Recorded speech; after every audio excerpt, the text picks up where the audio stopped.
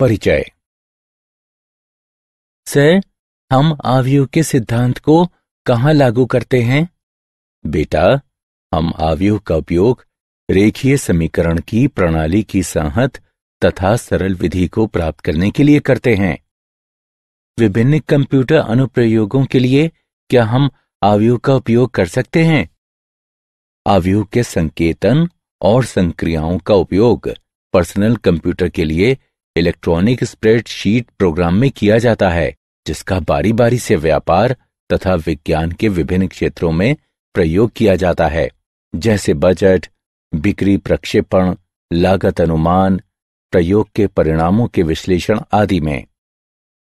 Sir क्या आव्यूहों का गुणा किया जा सकता है?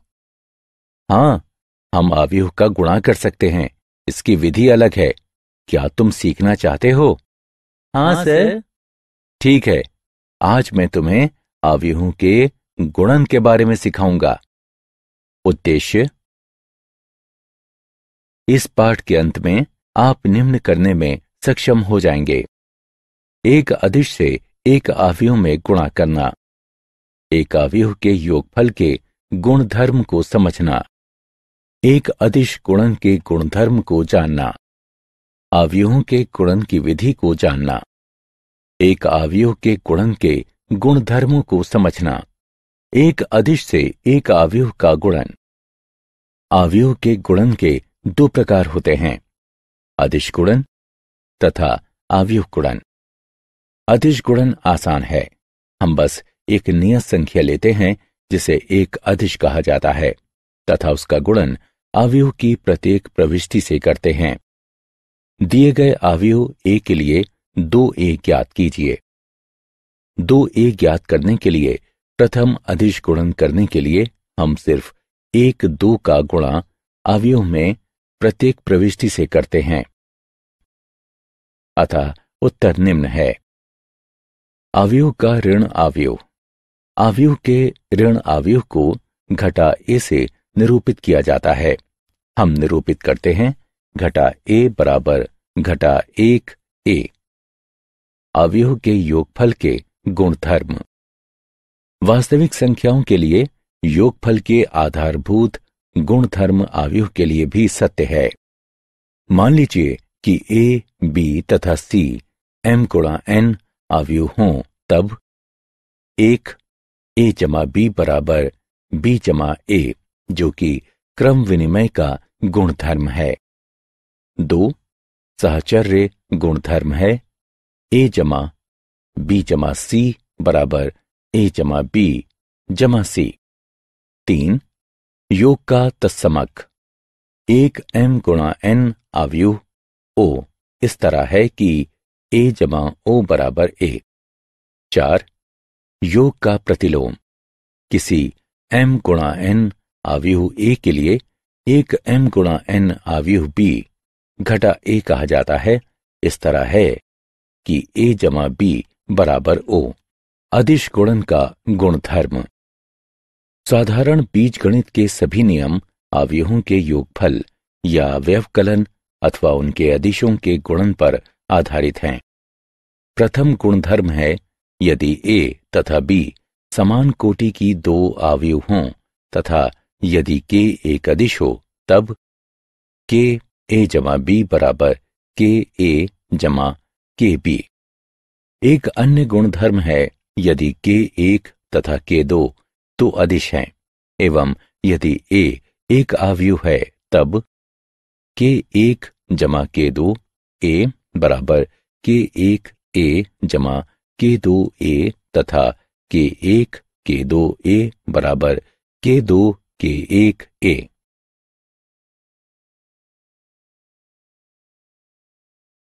अवयवों का गुणनफल। हम दो अवयवों का गुणा कर सकते हैं यदि, और केवल यदि, प्रथम अवयव के स्तंभों की संख्या, द्वितीय अवयव की पंक्तियों की संख्या के बराबर हो। अन्यथा, दो अवयवों का गुणन अपरिभाषित होता है। अवयव के गुणन की कोटि है। प्रथम अवयव की पंक्ति, गुणा, द्वितीय अवयव का स्तंभ। अवयव के गुणन की विधि। चलिए, अब दो आव्यूहों के गुणन की विधि सीखते हैं। आइए, एक सामान्य, दो गुणा तीन आव्यूह से एक तीन गुणा दो आव्यूह का गुणन करते हैं। उत्तर, एक, दो गुणा दो आव्यूह होगा। हम क्रमशः अवयवों को जोड़ते और गुणा करते हैं।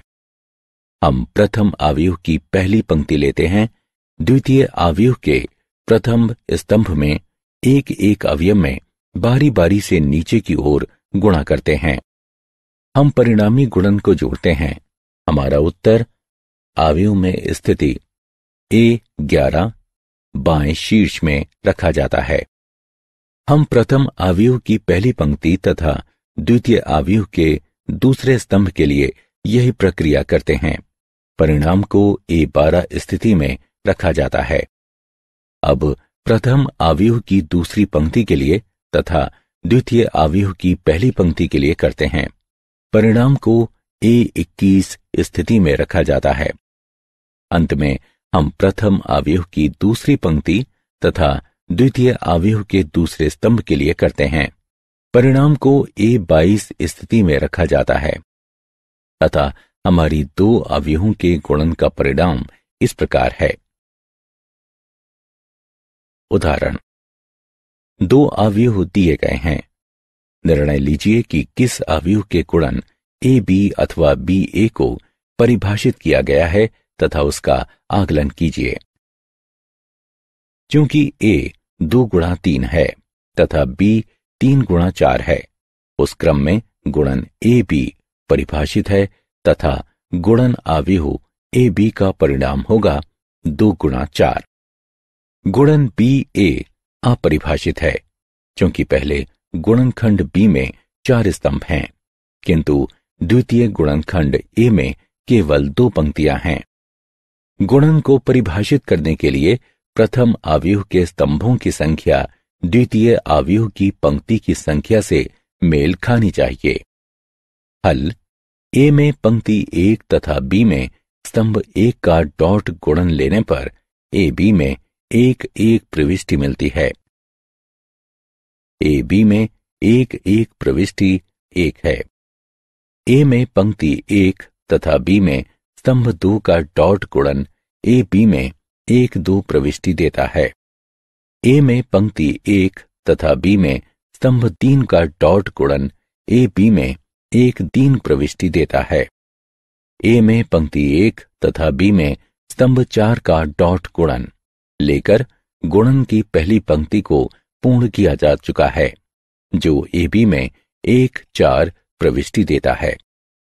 अब ए बी की द्वितीय पंक्ति के लिए ए में पंक्ति दो तथा बी में स्तंभ एक का डॉट गुणन ए बी में दो एक प्रविष्टि देता है। तथा ए में पंक्ति दो तथा बी में स्तंभ दो का डॉट गुणन ए बी में दो दो प्रविष्टि देता है। अंत में बी में स्तंभ तीन और चार के साथ ए में पंक्ति दो का डॉट गुणन लेने पर ए बी में क्रमशः दो तीन तथा दो चार प्रविष्टि प्राप्त होती है।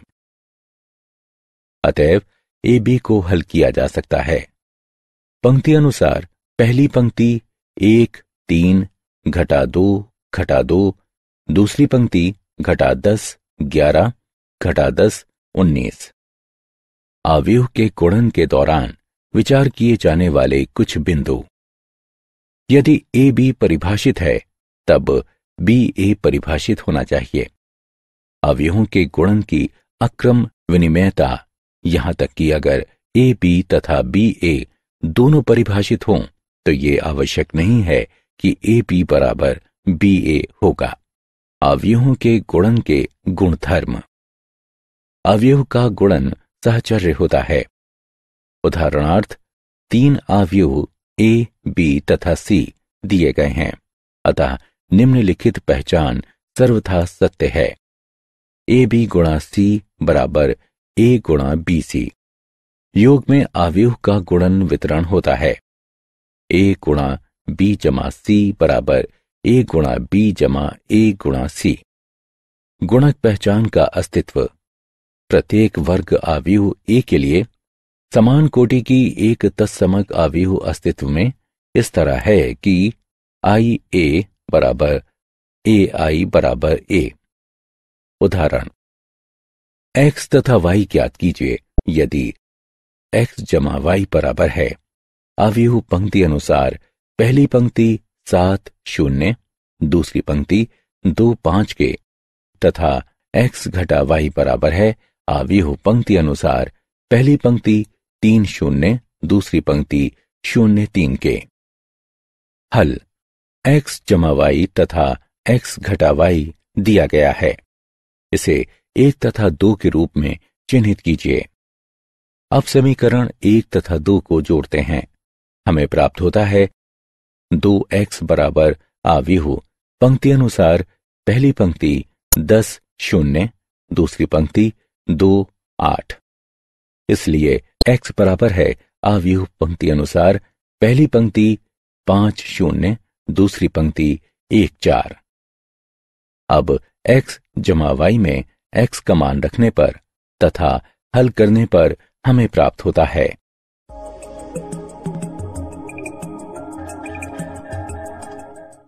अवयव y बराबर है पंक्ति अनुसार, पहली पंक्ति दो शून्य दूसरी पंक्ति एक एक के। क्या आप जानते हैं? अवयव का उपयोग सामान्यतः लंबे समीकरण को हल करने के लिए बीज गणित में किया जाता है।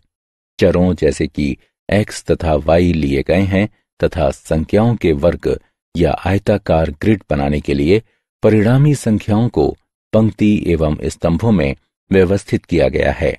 प्रश्नों को और अधिक सहजता से हल करने के लिए इन संख्याओं की गणना की जाती है।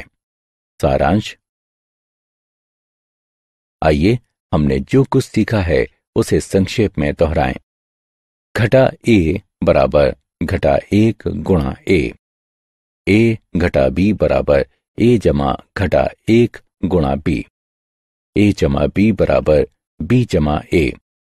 ए जमा बी जमा सी बराबर ए जमा बी जमा सी, जहाँ ए, बी तथा सी समान कोटि की हैं।